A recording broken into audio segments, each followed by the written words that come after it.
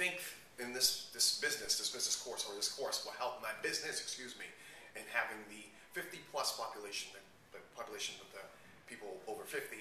having them feel their muscles more, having them be more.